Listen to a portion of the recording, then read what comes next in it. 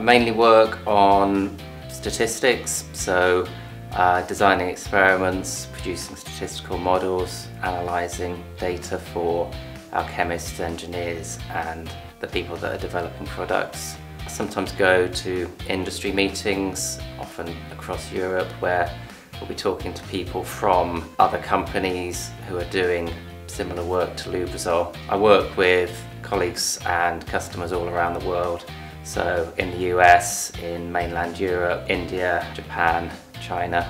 I use statistics, optimization, data analytics to try and provide insight into products that we're developing.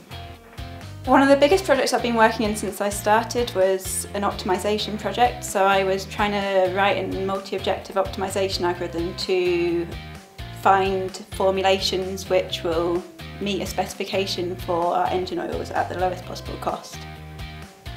The types of products we make at Lubrizol is huge. We work within the additives industry to try and provide lubricants for all different types of engines. We also work within what we call the advanced materials side, so that's things like shampoos and performance enhanced clothing. So working here you get a real range of different products which offer different unique opportunities. Uh, I think one of the best things about working at Lubrizol is that you get the freedom to explore your own ideas and your own um,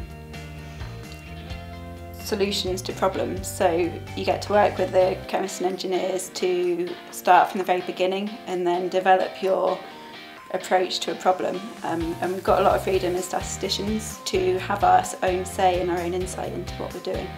I enjoy working at Lubrizol. You get to choose the direction of your own projects and manage your own workload. I think we're quite well respected within the company. To work in this position you need to have great statistics and computing knowledge and skills and to be good at collaborating with other people and understanding their problems and coming up with a good solution for them.